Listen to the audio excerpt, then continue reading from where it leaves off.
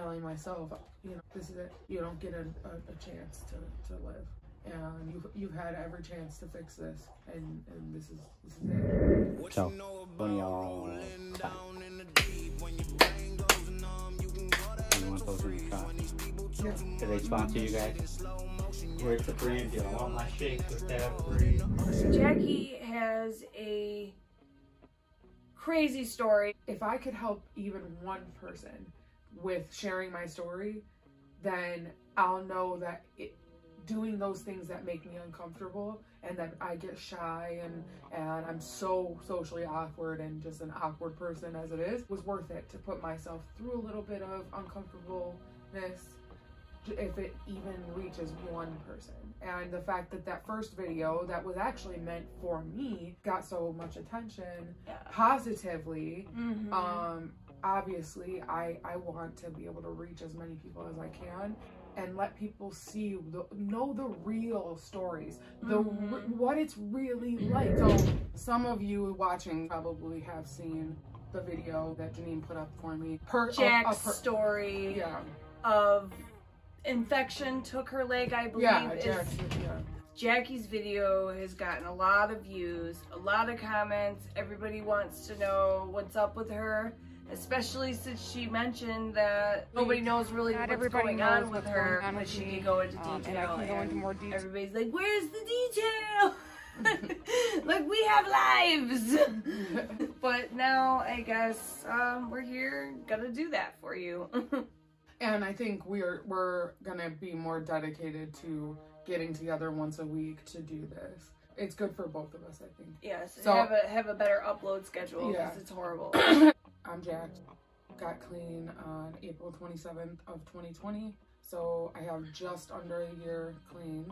I started using, technically I started using about a decade ago. Unfortunately, I went through a lot of trauma as a child and I've been through a lot of stuff that a lot of addicts go through. And also I have serious back issues that um, doctors were prescribing me in the early 2000s tons and tons of opiates years couple years after i'm good and dependent on these medications they all these doctors start getting busted and remember when when all that happened Mhm. when they Be changed the, the doctors. the schedules and everything Michael the- Jackson, all Yeah. that. Anna Nicole Smith. yeah, yeah. So I lost my insurance also. Started buying from the streets. That led to, you know, eventually uh, heroin addiction.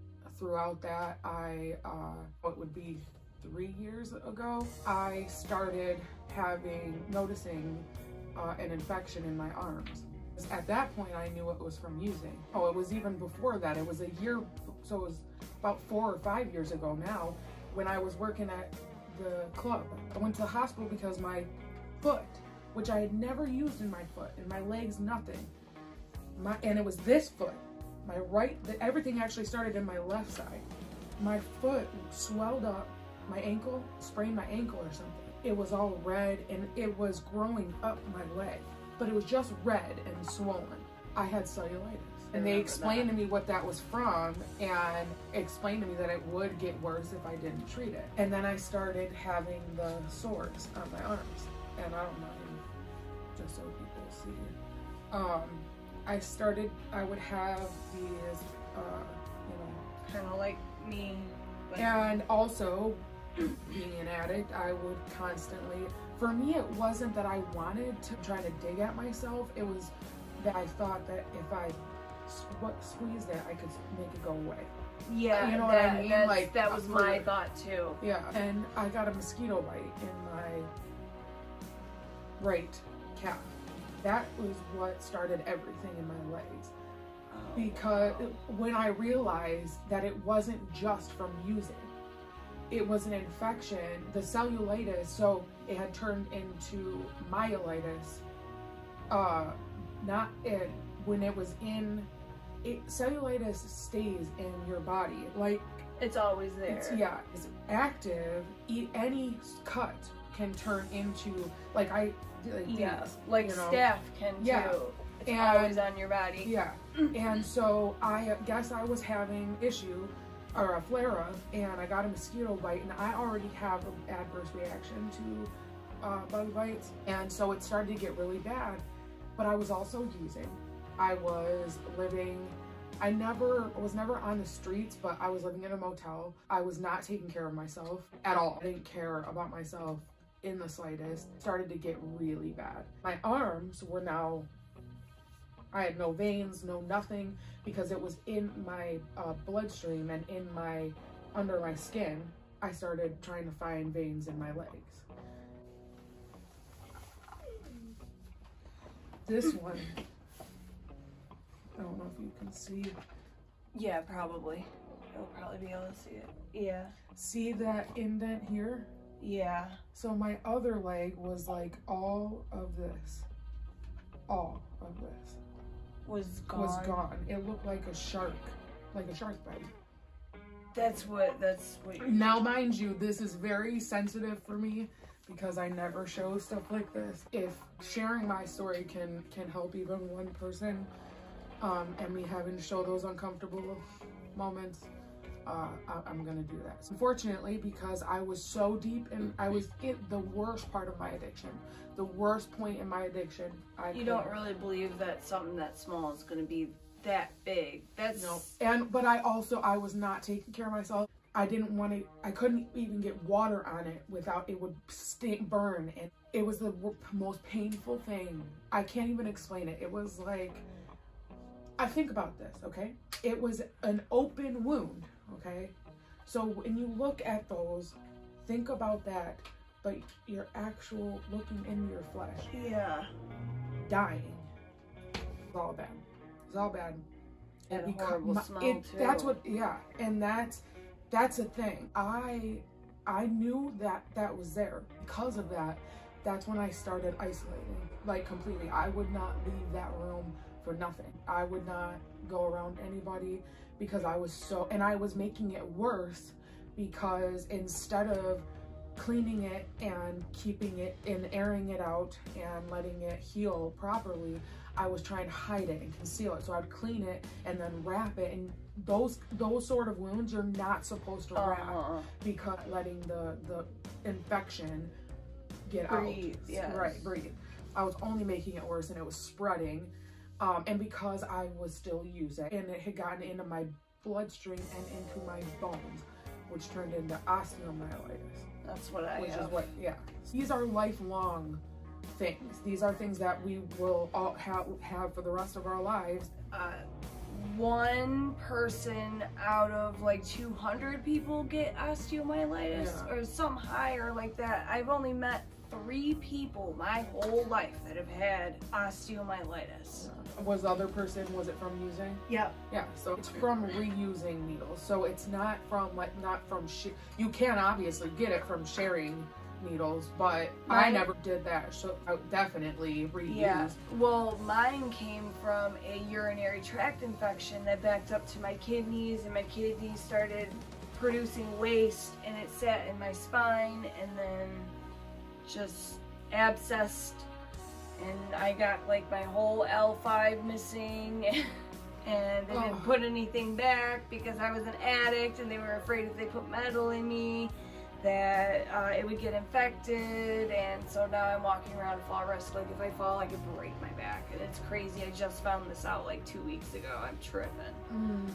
I get my MRI on Easter Sunday. Mhm. so. See, the thing is, is yours was inside. And that's even scarier to me to think about because I could bone. see mine, okay? yeah But you could, mine was so bad, you could see my bone. yeah You could, part, I don't want to get too graphic, uh, but it was, it was, it was that bad. But by this time, I lived for a good year with that. Had weight issues, but um, and I had definitely lost weight from not while I was using, but it wasn't until that infection hit my started uh, attacking my entire body and my including my all of my organs.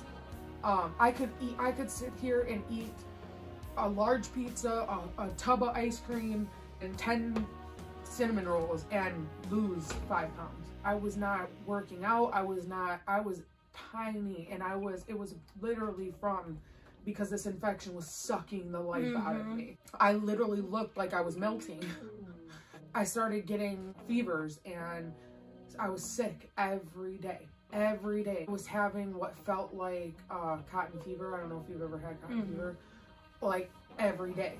At, once a day I would go through that something like that. And I got to a point where I was I couldn't comprehend anything and I was in and out of consciousness and I was unfortunately I was in a situation to where the person I was staying with was taking there was money involved. Let's just say that, you Mhm. know.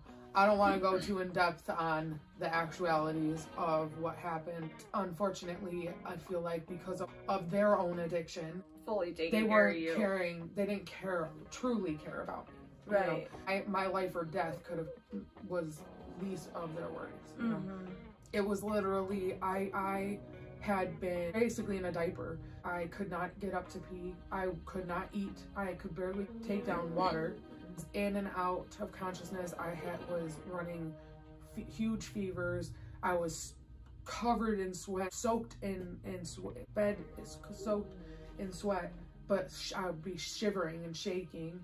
And using person two was also you know making sure that i was still thinking that that was going to help me That I- would take away your pain. and it was at a point where I couldn't walk, I couldn't move, I couldn't even reach my phone. I felt like I weighed, there were rocks or, or boulders holding me down. I could not move.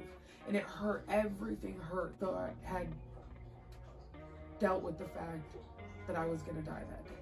And the thing was, was I was alone. So I definitely thought there was no one's here to help me. I can't get up. I'm and so I'm in my head like telling myself, you know, you're this is it. You know, you know, Right. you don't get a, a, a chance to, to live. And and you've, you've had every chance to fix this and, and this is this is it. Somehow was able to get up. I got to the door of the the motel room, opened the door and collapsed. And so I was able to use the last ounce of strength that I had to get that couple of steps out up to the door, open it, and then I was that was it. The person that was there had saw had come back at that point because this person had warrants. They didn't want anybody calling the hospital or calling the, the police or 911. They had warrants, so just throw me in the back seat of the car and take me to the hospital.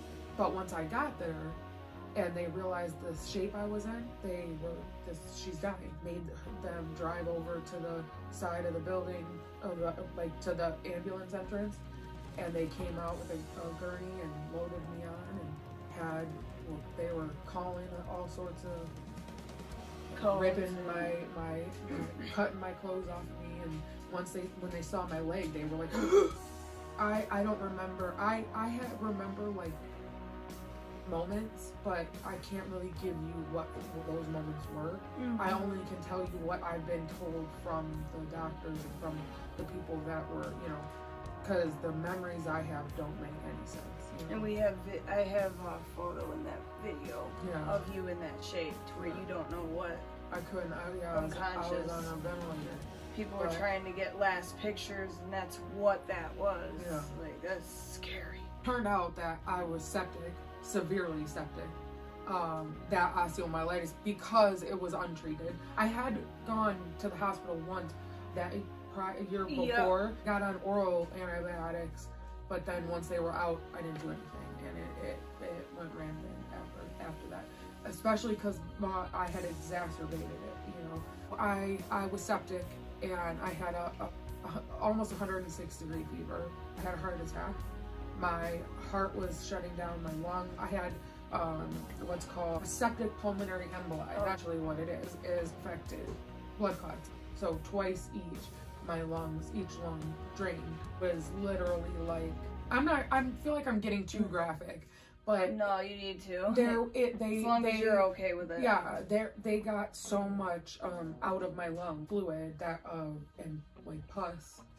I had the osteomyelitis. My heart rate was so high, um, and they had to take my my leg.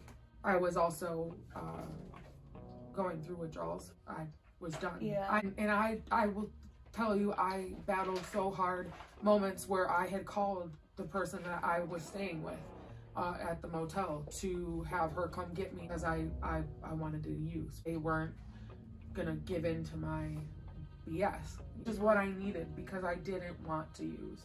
I didn't want to that life anymore. I was ready, you know. And so I fought it and I had no strength. I was so tired of fighting. I didn't think I was gonna nobody thought I was gonna make it through that first night. But once I started to and I started to come back in and out and remember start when I was starting to remember things, I realized like I had been given another chance. I have believe in a higher power, have higher power. I don't subscribe to, you know, organized religion in any way, but um, I do believe that there is a bigger, we are here for a Mhm. bigger purpose and that we go through certain things for a reason. I was in the hospital for a month, exactly 30 days. I went in April 27th of 2020 and I got, and May 1st I had my leg, my right leg above the knee amputated. And I went home May 27th and then I was home for a couple of weeks and then I had blood clots in my lungs and went septic again and was dying again. I had to have um, PICC lines in my arms. I had one in this arm and then one in this arm from April to September. You came over, it was like you were only Oh, over there for like yeah. two hours and it was like every 10 minutes you were hooked up to something. I was just like, Yeah. wow. You're just sitting there holding it up. I'm just like, that is crazy. Yeah. It was a lot. You were on a lot. And this is all during COVID, mind you. Uh, uh, you know, it during the beginning of it when everyone was like Freaking didn't know what to do and and yeah, Stocking And- up all the toilet paper. Yeah, I, legit. Like this was right in the beginning. All of my doctors were nurses and stuff were from different states. And my whole point of the whole point of me telling all of this and getting graphic is to let you guys, everybody know, anybody that's out there. So and I, I'm walking now, by the way, uh, for since October. Mm-hmm. I think that movie came out. That's That movie, yeah, that movie about me. yeah. No, when she put out the video, it was like November yeah. 10th. Yeah, That's right. That was the day. Yeah. The day you I got your home. leg. Yeah, I, and was I, the day I, I put out that video. Yeah, well, I got my running leg. The worst we're getting that built. So I'm hoping by the the summer, like by June, I'd say, I I would be. I'm hoping to be in that. And she um, already did her 5K in her wheelchair, Yes, just so everybody knows. yes. I like yesterday went down and up, up and down. I I don't know what, how many degrees. Would- 60 degrees. Yeah. I'd say at least 30 feet of elevation change over uh,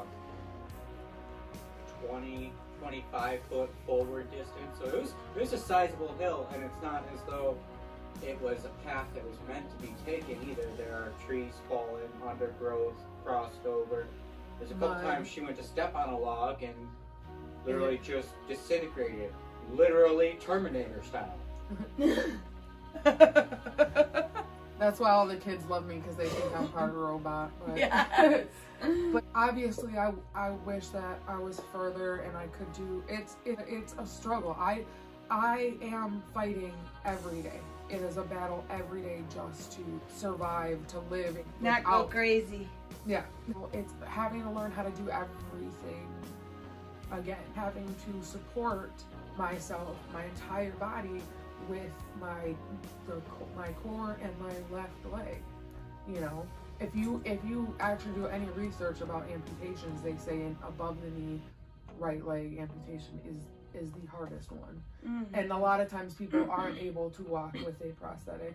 Uh, um, I'm lucky enough that it's my nub is this, like up up to here, Yeah, you just got just above the knee. just above the knee. if it was any further up, it would probably been a problem. yeah, But you're so close to where your knee naturally bends that you, you know, it Yeah. works. I mean, I have I don't have a knee, you know. Yeah, So- yeah. But but a lot of people have amputations where it's up to here Mm-hmm. and they don't have anything to connect to. People that you see that are doing freaking walking on, with one leg on stilts, so they got three legs. And there's one guy that does these awesome uh, costumes. He did like uh, a very authentic Pixar robot. Take away from the fact that it is hard. You're at your worst in your addiction. If you come across this and you're using right now, just remember at some point, especially if it's hard drugs like heroin and meth and, and cocaine. anything IV. Yeah, especially anything IV. Anything that's go- gonna end, end up in your Your bloodstream, bloodstream. you have to remember that at some point it is gonna Infect your body. it's gonna hurt you enough to the point where you're it's gonna cause you to die in some way whether that be mentally or physically if you You know- don't stop you know gonna say Well, you know what they say. You know, you see, you see older people that are addicted to crack, but you don't see older people that are addicted to heroin. And there's a reason for that. right because they're not alive to tell Yep. the story And yep be on the streets anymore. You know. Yeah. So you have to you have to realize that I was so afraid of the way I was going to be treated if I went to get help for my leg. And I was so bad in my uh, addiction. I was so afraid. I didn't want to be sick. I was so afraid of Mhm. being sick and them not giving, giving me anything in the hospital that I let that affect me. You can't do that. They will help you. No matter what, they will help you. They're not going to let you suffer. Yes, I had to go through withdrawals. Once I knew I was at a point that they could give me the proper medications and dose me off, it helped me. it. You have to find the most important thing is finding what works for you and not letting anybody else tell you how to work your recovery. As long as you don't pick up that drink or drug that day, living your life, because I'm finally to a point where I'm about to start school to, to be a lawyer and I'm working for a law firm as a paralegal to get things to a point that I, you know, happy. Not that I'm not happy, but you know, what I'm happy, Happy with with, yourself with- everything. Yes. Get you it. know where i'm where i'm happy with the person that i am i'm going through a lot of mental health issues and the, when they talk about um, you know the flashbacks and the post-acute withdrawals and stuff like that it's real but if you're really trying to get clean and you're and you really like you have to reach out for help doing what we're doing having people that that you're close to we're gonna do another video to explain this um uh, probably next week but uh about our story together Yeah. because As it's definitely a story uh because Janene and i have known each other for Like, years Yeah, like now eight years. a good almost decade i would say um but uh, wasn't the greatest relationship we'll just put it that way um but Boys now- will be boys. boys will be boys exactly exactly and what that has to do with us But I guess we can end this. And... yes Okay, bye guys.